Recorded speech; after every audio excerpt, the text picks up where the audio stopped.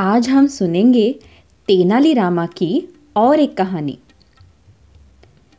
एक रात जब तेनालीराम सोने के लिए गए थे, तब उन्हें पत्तों के सरसराहट की हल्की सी आवाज़ सुनाई दी। उस समय हवा तो बिल्कुल नहीं चल रही थी। थोड़ी देर सोचकर उन्होंने धीमी आवाज़ में अपनी पत्नी को कहा, मेरी प्यारी मैंने सुना है कि कुछ कुख्यात चोर हमारे पड़ोस में घूम रहे हैं। इसलिए हमारे पास मौजूद सभी गहने और पैसे छिपा देने चाहिए। चलो चलो सारे गहने ले आओ। मैं पैसे ले आता हूँ। हाँ ठीक है लाती हूँ। ये सुनते ही एक चोर ने दूसरे से कहा तेनालीरामा तो आज हमारी मदद ही कर रहे हैं। वो धन कहाँ छुपा रहे हैं? वो देख लेते हैं। और फिर हम आसानी से वो चोरी कर लेंगे।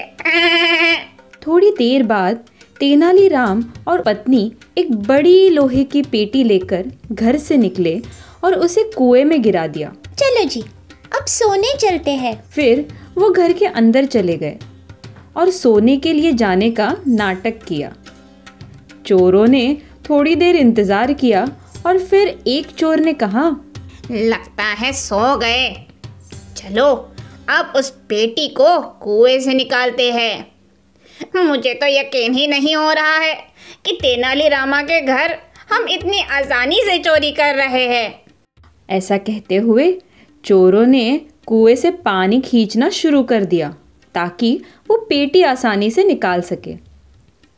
चोर पूरी रात पानी निकालते रहे। दिन के प्रकोप के दौरान उन्होंने पेटी को बाहर निकाला। और जब उन्होंने उसे खोला तो वो बहुत हैरान हो गए। अरे ये क्या?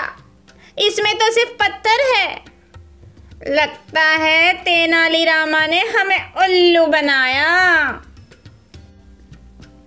तभी तेनालीराम अपने घर से बाहर आए और बोले मेरे पौधों को पानी देने के लिए धन्यवाद दोस्तों। मुझे आपके श्रम का भुगतान तो करना ही होगा ना? ये सुनते ही चोर तेनाली के पैर में माफ़ी के लिए गिर गए। हमें माफ़ कर दो तेनाली। हम फिर कभी किसी के घर चोरी नहीं करेंगे। हमें माफ़ कर दो। जब उन्होंने कभी भी चोरी ना करने का वादा किया तब तेनाली ने उन्हें जाने दिया। देखा दोस्तों कभी कभी कुछ कठिन परिस्थितियों में भी हम शांत रहकर अपनी बुद्धि का उपयोग करके भी बाहर निकल सकते हैं।